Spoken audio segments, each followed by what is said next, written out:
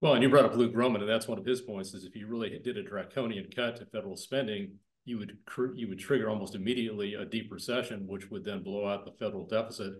So it's really a it's a real predicament, a real conundrum that we're in right now.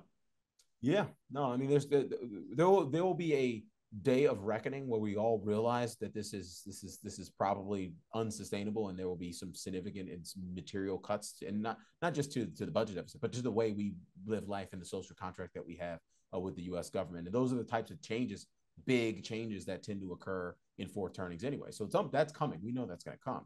It's the path that that, that that that we take to get there as investors that I'm most interested in and I think is the most relevant for the you know the folks on this call and so that takes me back into my previous um, point, which is historically speaking, the Fed has has had a pretty consistent pay. Now the Fed's only been around for one fourth turning, so let, let me be very clear about that. We can only source data from the previous fourth turning because the Fed was um you know introduced in the early 1900s, uh, 1913 I want to say, and so the you know based on the historical patterns that the Fed has uh based on the historical um policies the Fed has implemented, we can observe a pattern of behavior that sort of winds up in this, you know, kind of the point you made at the beginning of the call, David, which is monetary debasement and financial repression are really the only ways out of this. If you think about this from a game theory perspective, what is the choice the Fed will make that will cause the maximum amount of utility for a system that probably is already is going to experience a lot of inflation uh, and potentially a tremendous amount of uh, geopolitical consternation anyway?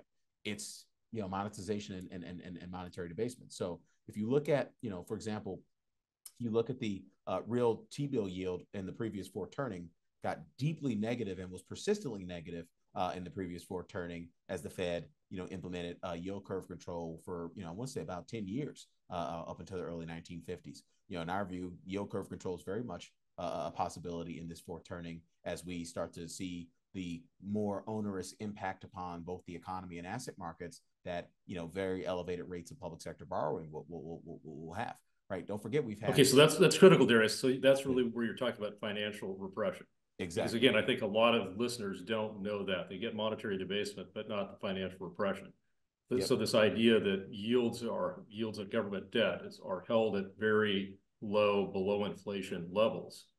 And they did that after World War II. You're, you're right. That's how we got out of the, the huge debt to GDP coming out of World War II. By 1952, I think we'd gone from 120% down to 70%, so about a 50% decline in seven years. Mm-hmm. But how do you think they'll do it this time? Yeah, I think it's a combination of things. So, uh, one, the, the, the, sort of three things. If you think about uh, keeping yields artificially low relative to inflation and probably relative to where they would otherwise be uh, in a uh, market-oriented system. We don't think the treasury market is functioning uh, with true market forces. Uh, so that's number one.